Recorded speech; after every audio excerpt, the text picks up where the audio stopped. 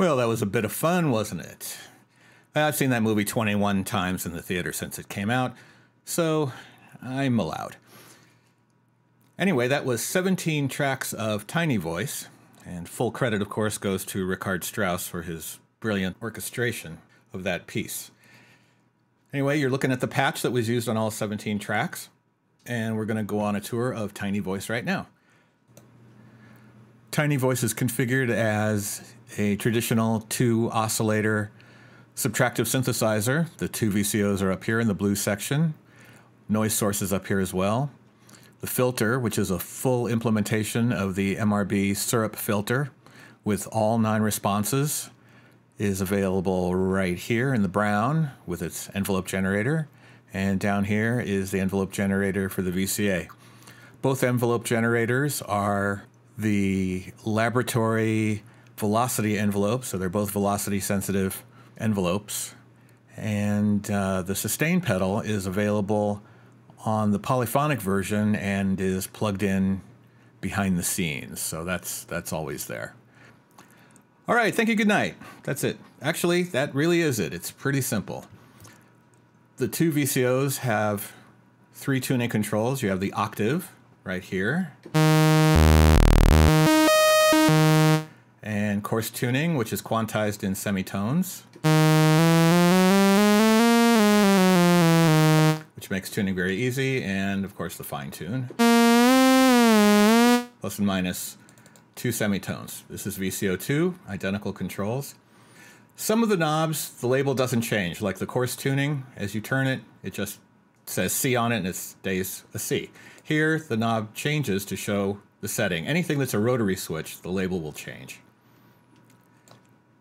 And right here are the two waveform selectors. You have saw, super saw,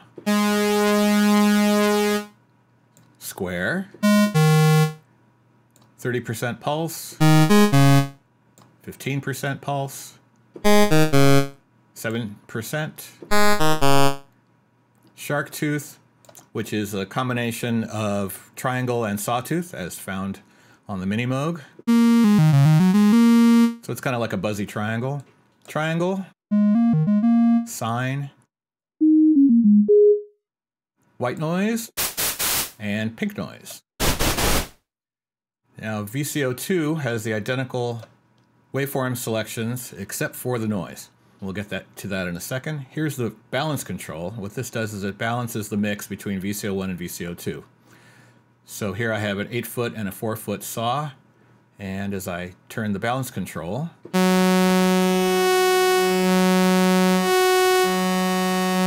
I can get whatever mix of the two I want. Let's say this is a sine wave. Let's say I want to add a strong third harmonic onto this eight foot sawtooth. So I go up an octave and a fifth. So here's an octave, and then I go up a fifth.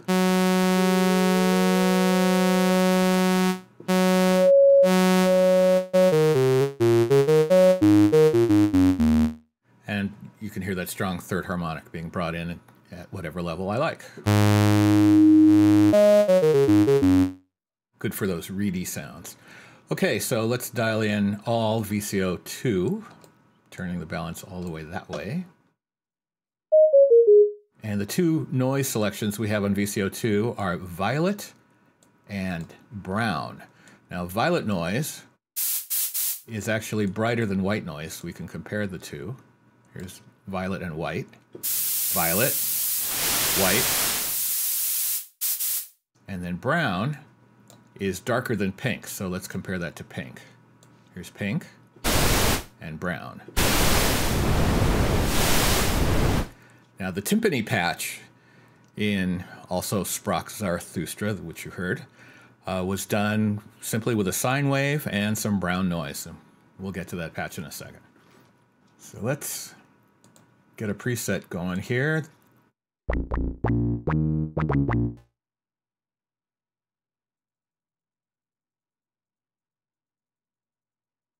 One saw bass.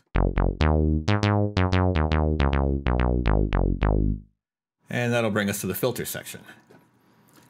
Cutoff, Q, and response. So cutoff, Q or resonance, all the way up to self oscillation at the top.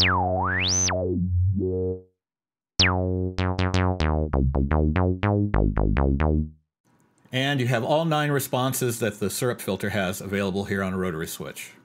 So one pole low pass, two pole, three pole, four pole low pass, and then two pole band pass, four pole band pass, one pole, two pole high pass, notch, and bypass. So if you want to use a different filter, if you don't want to use syrup, you want to use something else, you can bypass the filter section altogether by dialing it up here. So that's just the bare VCO. This has no effect.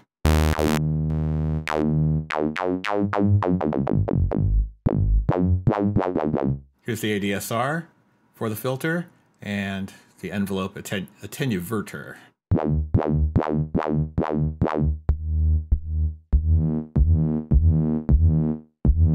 Negative modulation and positive modulation. TRK, that's keyboard tracking. You can go from no tracking to 100% tracking to 200% tracking. And what that does is it moves the filter cutoff according to the note you're pressing.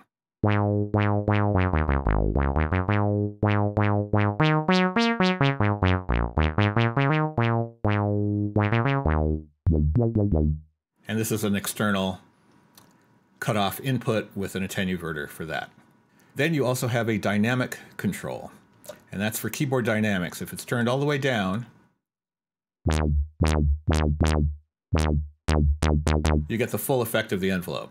If you turn it all the way up, you get full dynamics, which means if I play quietly, I get a little envelope. If I play loud, I get more.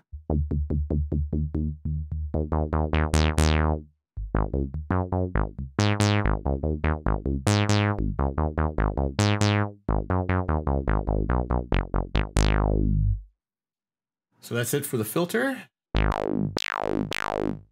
And down here, you just have the ADSR for the VCA.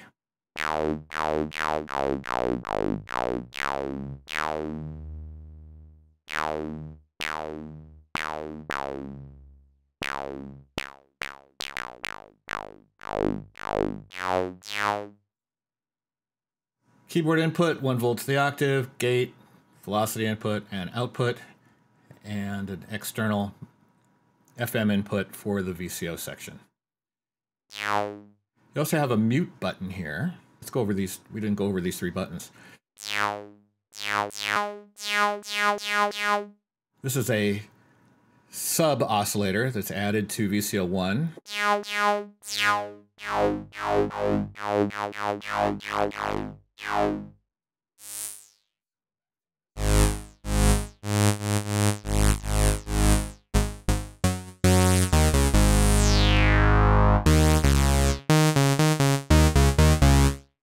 Vibrato.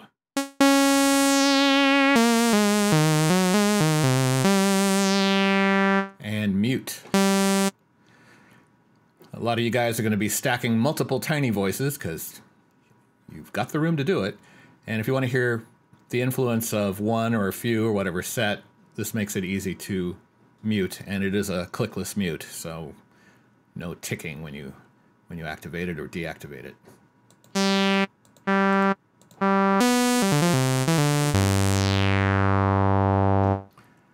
Okay, that's really it. The module is deceptively simple and very easy to use, and I'm sure everybody will be up and running with it in two minutes, five minutes tops. Anyway, uh, if you guys want to stick around, I'm going to go over some presets so you can get an idea what a simple module can do.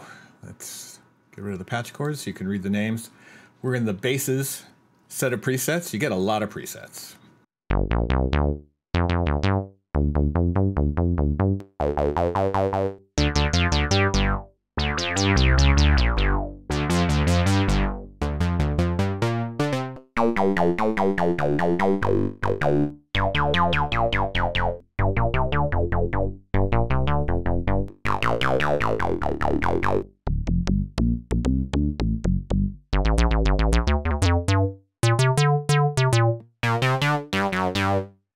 This one's called Wiggly Dirt because I've got the vibrato on, and we also only have one pole of filtering, so it's letting a lot of buzz through.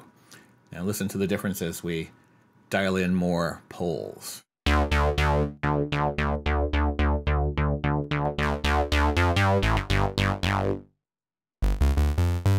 Barefoot, we're just hearing the oscillator section. We have the filter in bypass.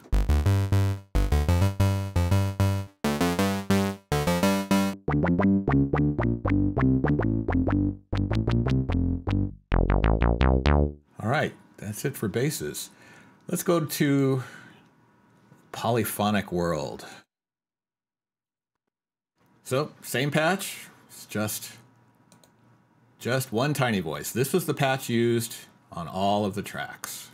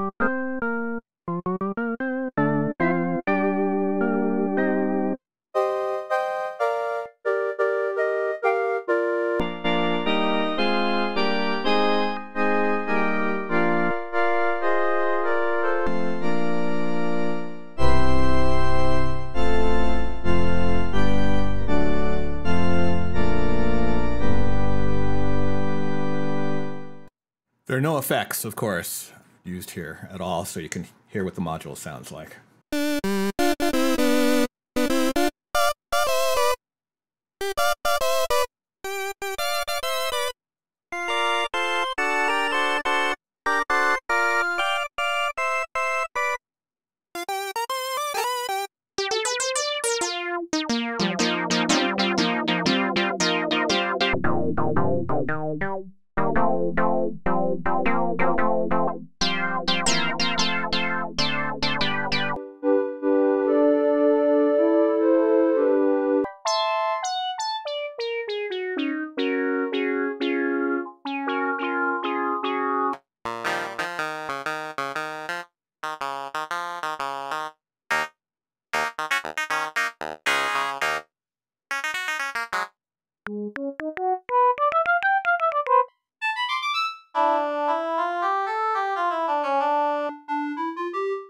Getting into the variations that were used in the track. Here's the oboe.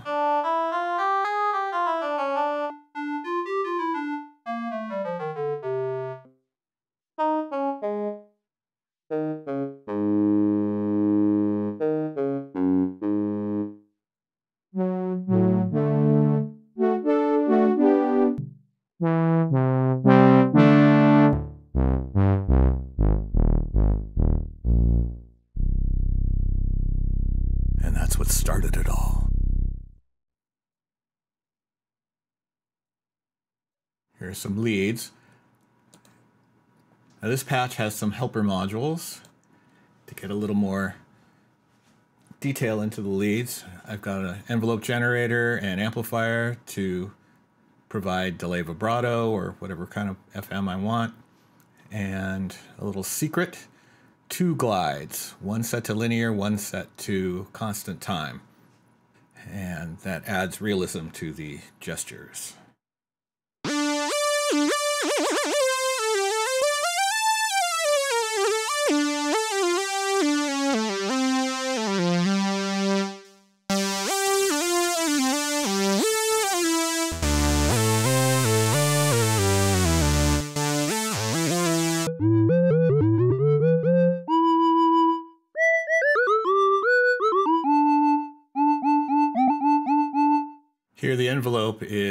Causing the pitch going in here on the VCO FM to rise up to the tone I'm playing.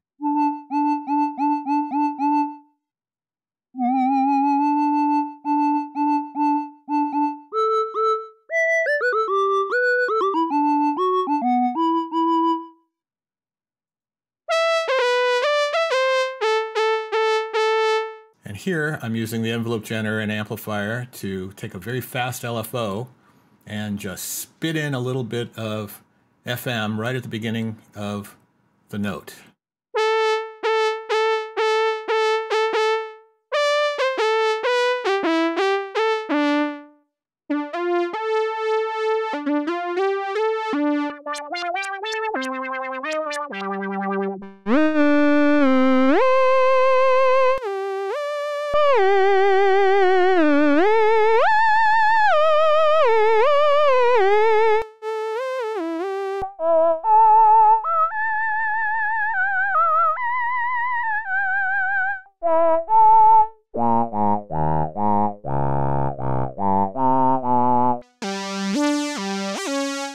Some leads. All right, here are the percussion presets. I won't talk, we'll just quickly go through them. You could read the names right here.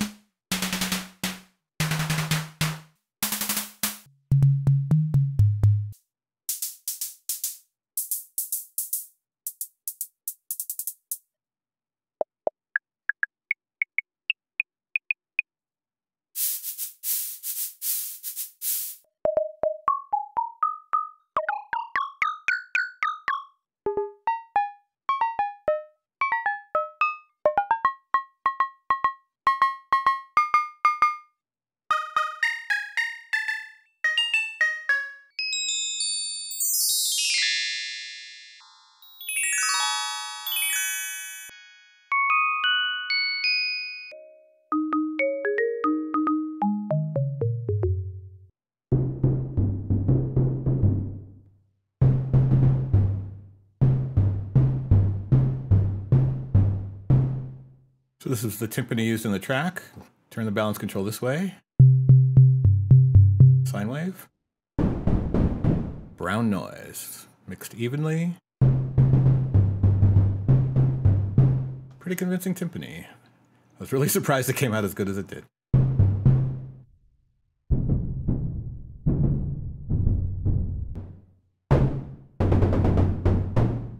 All right, so there's some percussion. Here's a patch. One tiny voice in the left channel, one tiny voice in the right channel. Be very afraid.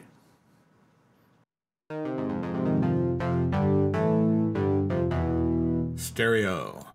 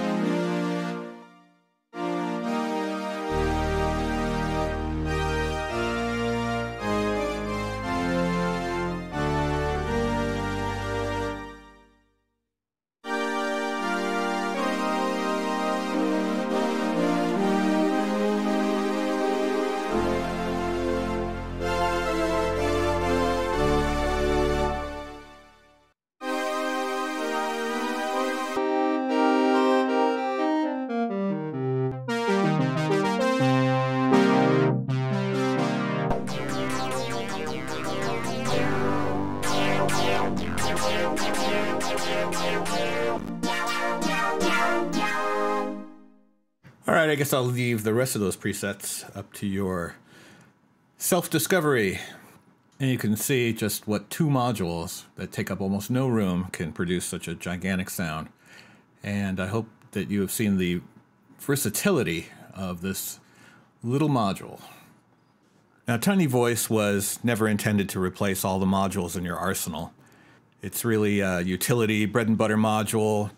Uh, let's say you're working on a multi-part sequence. You need a bassline. You need some bleeps and bloops and a and a simple pad, maybe a saw lead line or something like that. Let Tiny Voice do all of that. Let Tiny Voice do all the easy lifting, while that 30 module Maserati of a patch you've been working on for a week takes center stage. Tiny Voice will do all those easy jobs without taking up your whole screen. You guys on laptops and smaller monitors are really going to enjoy Tiny Voice. Everybody else will too, I'm sure. I've certainly had a lot of fun with it so far. So until next time, get in that studio and make something. Okay, bye bye.